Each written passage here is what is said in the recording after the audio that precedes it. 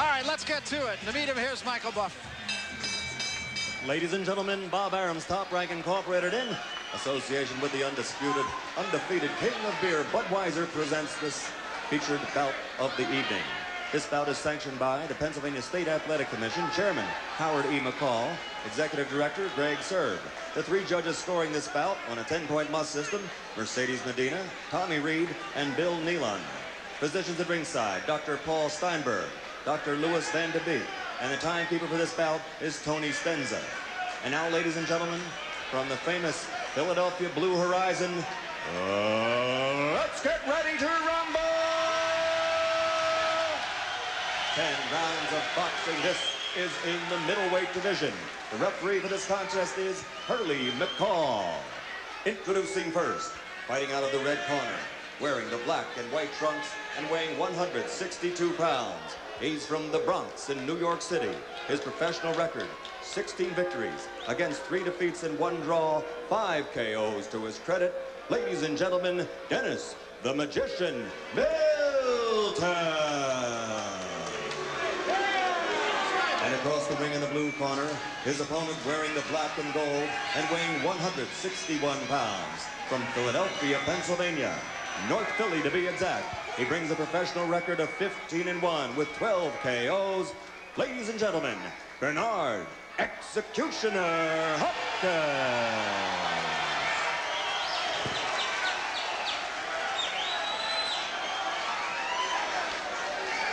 All right, gentlemen, you were giving your instructions earlier. I want you to big knuckleheads at all times. I want you to protect yourself at all times. Look at him, baby. Look at him. Any question? Look at him, baby. Gentlemen, touch gloves. Look at him, baby. Oh, boy. Excellent stairs. Very good. Nice lean by Milton. Eddie Mustafa Muhammad, you catch a glimpse of, stepping out of the ring, who has really done very, very well as a trainer. He's an excellent trainer. And uh, Dennis Milton lucky to have him in his corner. He's giving him last-minute pep talk as Bouie Fisher is giving to Bernard Hopkins. I have to tell you something. The atmosphere is charged here tonight. Yeah, what it really is, in fact, Hopkins said this morning, he said, this is like fighting for a title. He feels it. So does Milton. And when you can get in this building with these fans and the opening act we just had, I'll tell you, Bernard Hopkins just looks like a puncher, doesn't he? Yeah, he really does. He really is out of the mold of some of the great fighters here in Philadelphia. And I tell you, it goes back a long way. You, you saw those uh, you saw those numbers. A hook already has Milton reeling back. He is in trouble. This, and he holds on. This looks a little like the Jackson fight so far, I have to say. Well, you said bomb, then bang, and that's Yeah. what you meant. He's going right after. I, I will say this, Dennis Milton's outfit is a very classy outfit. Yes, it is. Those of you watching in black and white, that is black and white. And Dennis Milton is fighting a fight here that, in truth, is courting disaster. I mean, he is mixing it up with Hopkins, and I am not sure. Oh, boy, he's putting his head in there, too.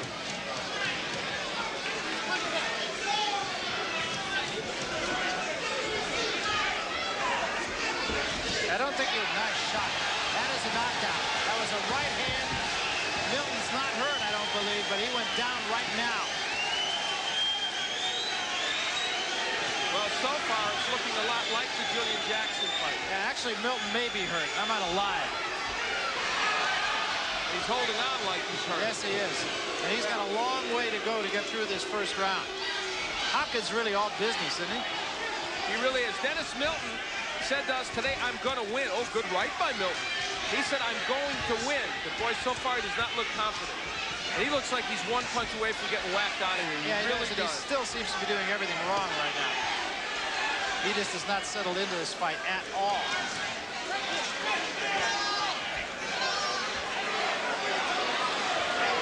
It's not easy getting in there and breaking these two.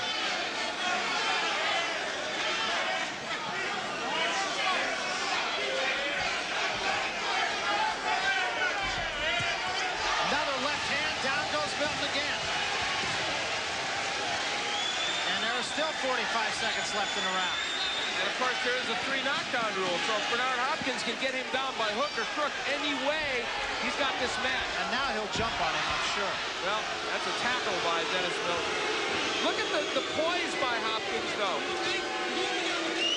He is not falling for anything. He is just saying, I'm going to get my job done here. And the right hand drove oh. Milton into the ropes. Holds on. He's just trying to get through this. Dennis Milton is making this a very ugly fight. The referee, in his defense, trying very hard to keep it in control. It's not easy. Because Hopkins wants that third knockdown, but he probably won't get it. Well, there's a good right hand.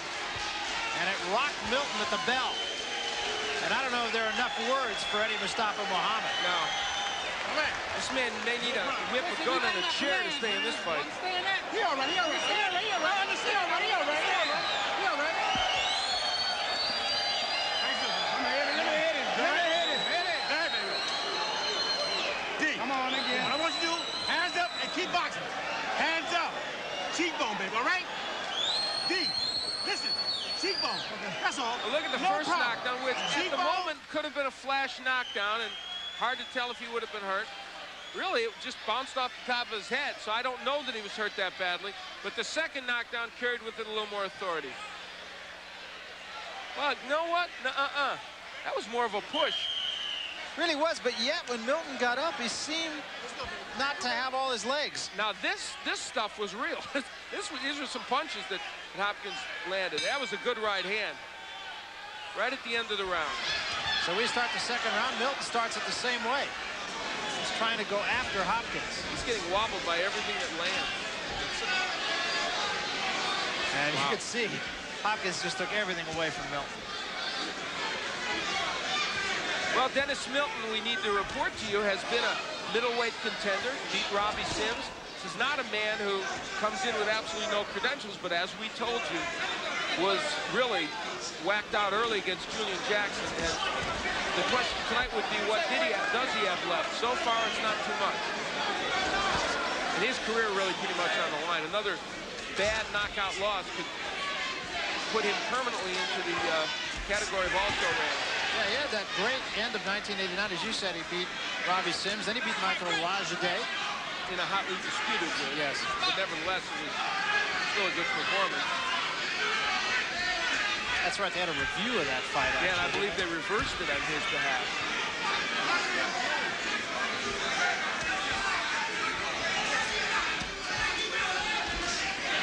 Hopkins setting up the right hand very well with the jab. Yes, he really is. He came right behind the jab with the right hand. There we go. You know, you know what's interesting? If you look at Bernard Hopkins and you look at Julian Jackson, their styles, their build, everything about them is very similar. Milton must feel like he's reliving a nightmare. Oh, big left hand. Body shot the left hand. Well, there's that double left hook that's so effective when boxers use it.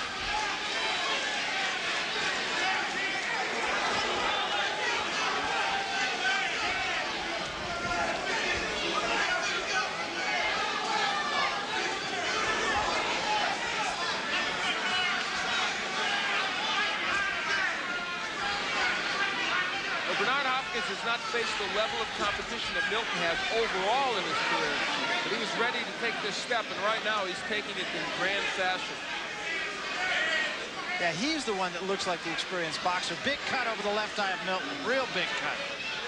And we don't know if that came from a clash of heads, but we didn't see any, any denotation of that by the referee. It is above the left eye on the brow of the eye. Could be a big problem for Milton.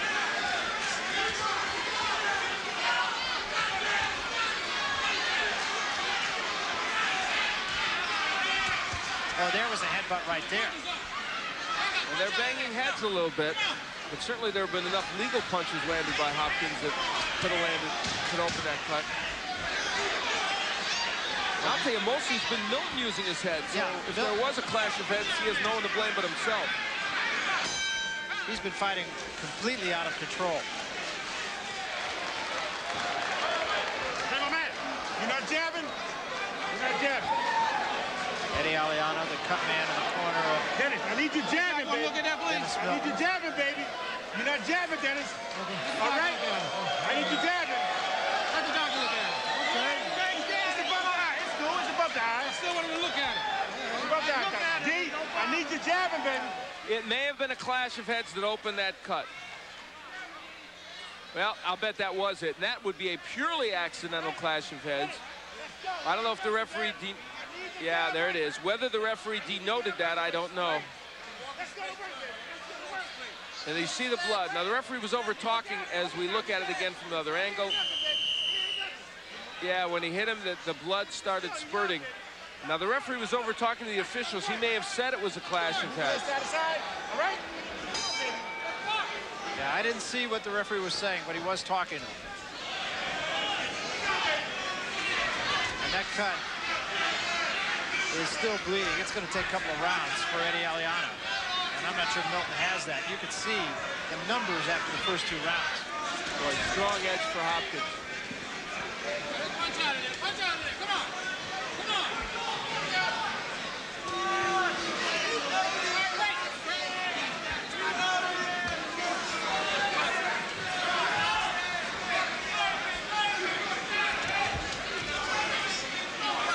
Hopkins going for the body, and of course that is something he does quite well.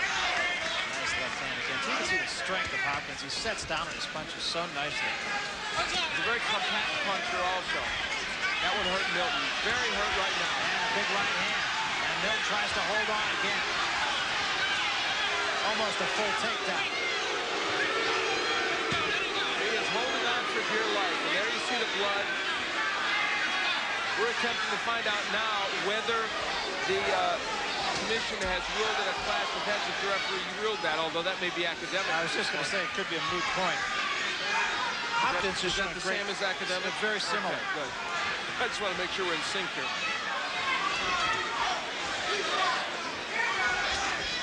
Nice right by Dennis Milton. So he's still firing a little bit, but not being very effective.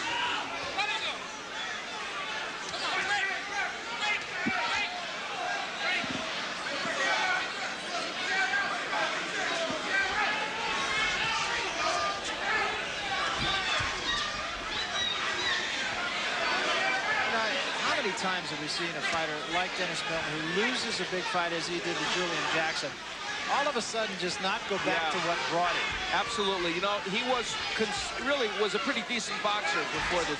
I think that loss just took so much out of him.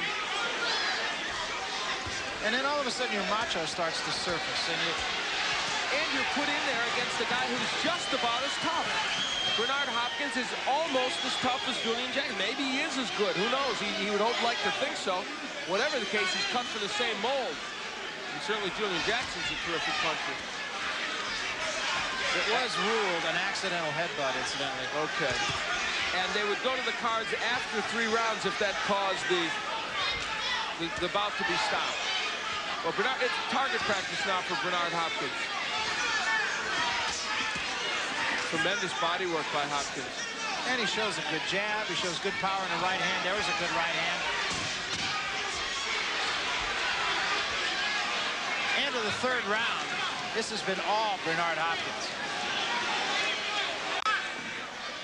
Well, this man has a long way to go to get back. And I'm not sure he's capable of that trip. Landed only eight punches in the third round to go with three in the first and six in the second. That will not get it done, will it? Especially not against Bernard Hopkins. Hopkins just looking very, very good. Two weeks in a row now on Top Rank Boxing, we have seen somebody who you really have to consider a bright prospect. Last week, Cecilio Espino against Luigi Camputaro Espino. We had not seen him on Top Rank Boxing. Had fought most of his matches out west at the forum. Just brilliant. And Hopkins, even though we'd seen him once before, this is even a better version of Bernard Hopkins.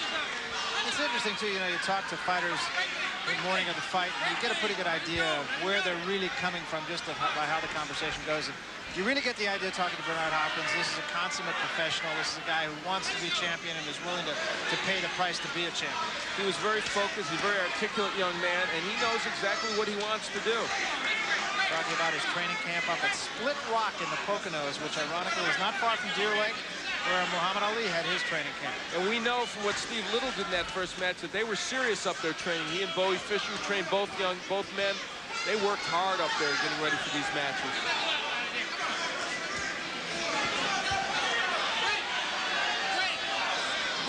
Dennis Milton could easily have a point taken away pretty soon for holding. But I, that, too, would probably be academic. They'll look at that cut. Now, it, it was ruled a clash of heads, so if they would stop this bout because of it, they should go to the scorecards, which would certainly favor Hopkins. Oh, no, it's a, it's a, it's a point being Yes, he did take a point away. That's, like, like Dennis Milton, he's another problem. huh? yeah, he's got enough. Let's see, he's been knocked down. He's got a bad cut. Now he's got a point taken away. I think you might forget about a decision win for Milton. Only the oh, oh, good right Long hand. right hand. Only the Buffalo Bills can uh, sympathize with the.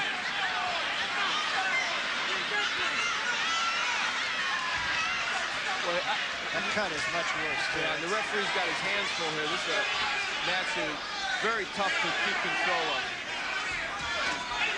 Good body work by Hopkins. Are you impressed with the poise of Bernard Hopkins? Yeah, I really am, and his patience. No reason to get wild and do things that would lead him into. And he told us this today, I know Dennis Milton's not a big puncher, but that doesn't mean I'm going to stick my chin out and say, you know, hit me and let's see if I can take it.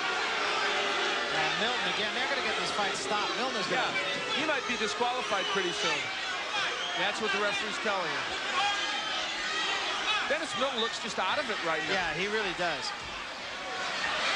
Into the fourth round of what has been an ugly fight, and it's no fault of Bernard Hopkins, who has done everything.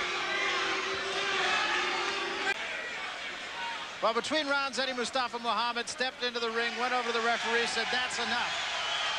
And a fight that is well stopped. Uh, Dennis Milton wasn't going to win this fight if they fought 50 rounds.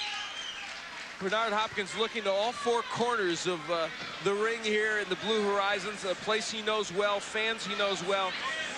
And it was an excellent performance. Yes, Dennis Milton has slipped back considerably. But this young man, Bernard Hopkins, shows you why he is thought of as a prime candidate to fight for the middleweight championship. Yeah, very impressive performance for him. And he jumped on him right now. His patience was very good. Let's get the official word from Michael Buffer. Michael? Ladies and gentlemen, referee Hurley McCall stops this vice at the uh, stopped this bout at the advice and the urging of Dennis Milton's corner. The official time, the end of the fourth round. The winner by TKO. His record now 16 and 1, 13 KOs from North Philadelphia. Bernard Executioner Hopkins. Well, you heard him say he was 16 and 1. That one came in his very first fight. Then he took a year and a half off, and ever since that time, he has been all business. Bernard Hopkins, the winner. We'll talk to him after this. At 11 o'clock. Meanwhile, here's a guy who uh, has nothing but good things to look forward to, and he's with Al Bernstein. now. Bernard Hopkins, who said before, I'm going to be world champion, and I mean what I say. And you know what? There's no braggadocio there. We said it earlier. This young man who knows where he wants to go. Wonderful performance. Uh, you're just looking better and better. Yes, um, Mr. Al, I'd like to thank God for this victory. And I'd like to say that I'd like to thank Split Rock up in the. Poconos for getting in this tremendous shape. And yes, uh, Bernstein, I'm, I'm, my goal is focused on being a middleweight champion. I ain't predicting no time. The public and my managers will sit down and deal with that. But I come in a tremendous shape. I respected Dennis Milton, even the people that he beat as an amateur. Yeah. Like I said, this separate the boys from the men. Amateurs was a different thing. Uh, Mike Tyson lost a lot of fights in the amateurs, but now he, he was unstoppable. And I, I, I'm, I'm basically working with the good, uh, good working with uh, Prince Charles, and I was in the camp with David Tiberi, which Yeah. I wish him the luck with James Toney, because if he don't get it, I will soon later. Well, I was going to say, which of the would you like to see Toney maybe in the next within the next year or so? In the next year and a half, uh, Al, I would like to see Toney. I would like to see McCallum if he don't grow old enough. And there's a lot of other middleweights out there. You got, you have a lot of guys that we don't know about as much in the good middleweights. You got uh, Tate. Uh, you got a lot of uh, good fighters out there that I might have to climb up that, that, that scale. And it's nothing but a learning test. This was the first guy that I fought that had experience Yeah. and that also can box. But I can box and punch. Al. I was, I was, I watched a lot of Sugar Robinson tapes, and I call, I, I consider myself as a Marvin Hagler and Sugar Ray. Let me tell you Robinson something, pal. connection. You showed a lot of skills on both ends tonight. Congratulations. Thanks, Al. All right, Bernard Hopkins invoking the names of some All right, greats, and he hopes he hopes that someday his name will be mentioned with those greats, and that's possible. Let's go back to Barry Tompkins now at ringside. All right, thanks very much, Al. A convincing victory for Bernard Hopkins. You're going to see a lot more of that young man. When we come back to the Blue Horizon, uh, kind of a blast from the past, the fight that took place just a few weeks ago between Asif Dar and Tony Marshall after this.